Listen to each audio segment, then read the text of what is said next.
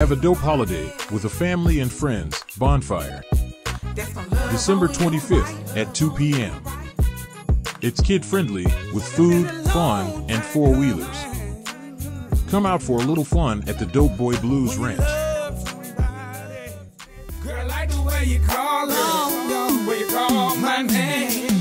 See, it started off real good, and I love you from the heart. So could I get a phone call, girl? Much I love you. Tell me how much you miss me. Tell me, do I cross your mind?